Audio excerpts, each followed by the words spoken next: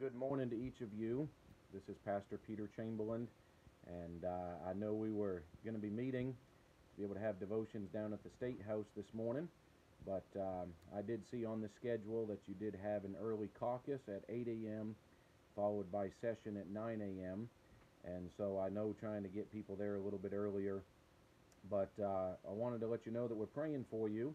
Wanted to send out this brief video devotion this morning just to be able to let you know that you're on our hearts and our minds, that we're praying for you, and just be able to share a few things, be encouraging to you from the Word of God.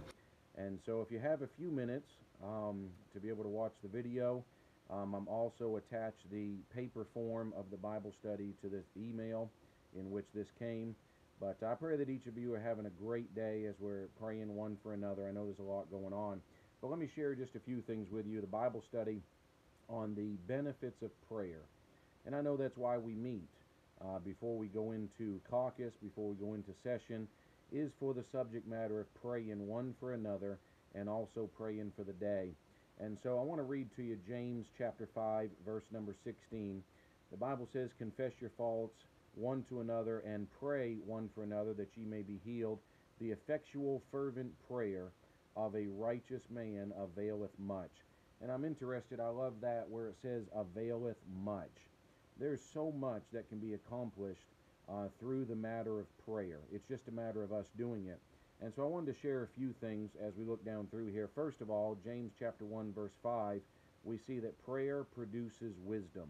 The Bible says if any man lack wisdom, let him ask of God, uh, that which giveth to all men liberally and upbraideth not, and it shall be given him.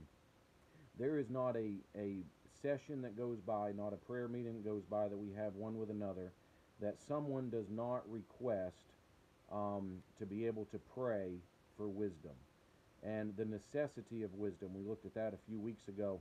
But uh, through prayer, and the Bible says that if we lack wisdom, we can ask God that giveth to all men liberally. He's, go- he's not going to hold anything back, that we are going to be able to pray, ask God for wisdom, and it will be produced. It will be given to us.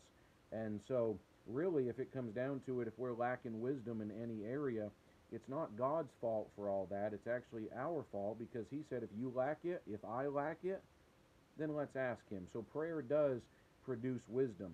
Second of all, I want you to see that prayer accomplishes the impossible.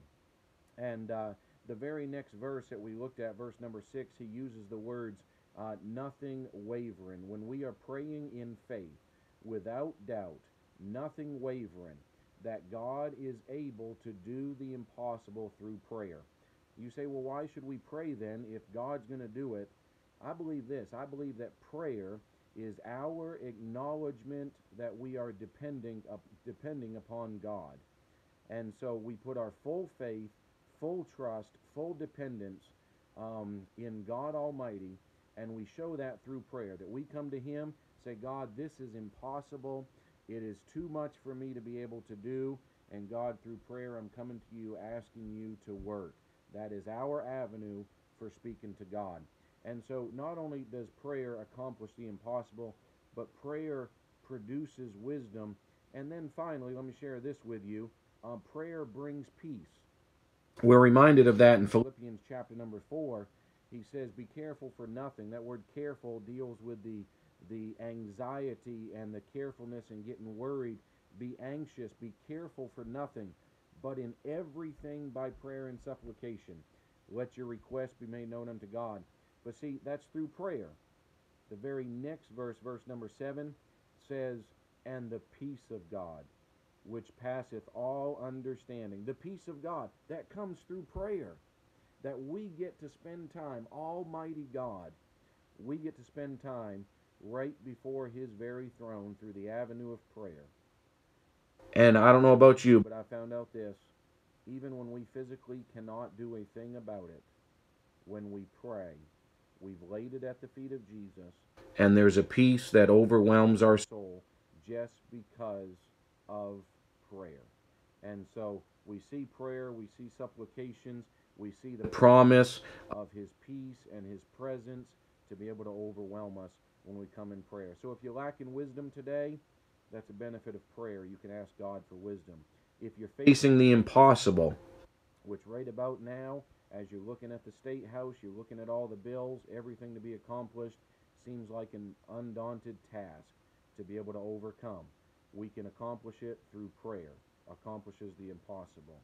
If we need peace, we're anxious, we're careful, things, so many things going on in our hearts, that can be done through prayer. Take it before the Lord. But most of all, I want you to know that we're praying for you. You're in our hearts, you're on our minds, and I want you to know you're not there by yourself today. You may get this afterwards tonight, but hopefully it'll be an encouragement to you. And also, just read down through there with your Bible, and you can look at the Bible study lesson. And uh, we're looking forward to getting together next week.